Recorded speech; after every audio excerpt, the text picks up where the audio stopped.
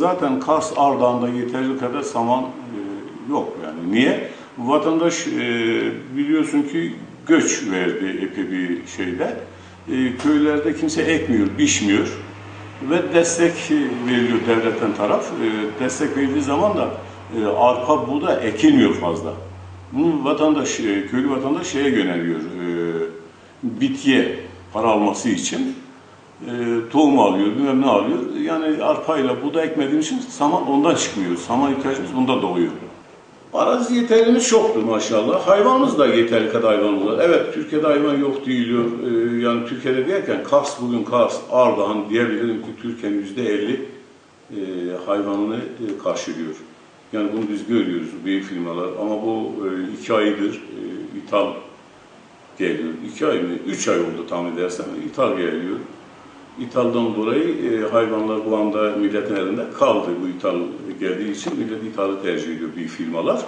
E, onun için e, hayvanımız çok yani yeterli kadar hayvan vardır doğuda. Doğu derken Kars, Ardahan, işte Iğdır, e, Ağrı, Erzurum gündeme gelir doğuda. E, bunlarda da hayvan ötesinde bayağı bir fazla bir hayvan vardır yani. Çünkü ben 40 senedir bu işi yapıyorum. Yok hayvan yok, yok bilmem azdır, işte yeteri kadar hayvanımız yok. Hayvanımız yeteri kadar vardır yani. Ama tabii ki ithal e, gelmesi için ben illa ithal gelmesin demiyorum. E, biraz yüksektir bu anda fiyatlar. Onun da gelmesi gerekir ama bir sınırlama koymalı.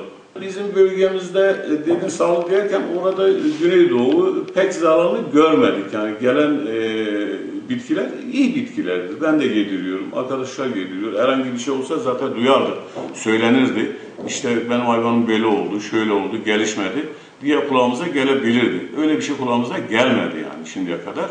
E, kendi, o zamanlarda bitkilerde memnunuz yani şey fana değil yani. Et geriledi bu anda 24 bin lira kadar. Et kesiyor 24 liraya.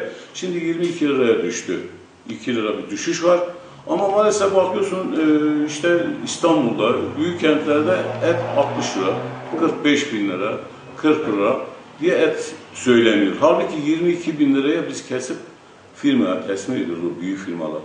Ama aradaki fark nedir? Nereden geliyor? Niye bu para oluyor? Bilmiyorum yani. Zaten eğer ete de şeye bakarsan yani file diyerken sade et, lop et bir hayvanda yüzde sekiz kemik oranı vardır. 300 kilo gelen hayvanda 24 kilo eder.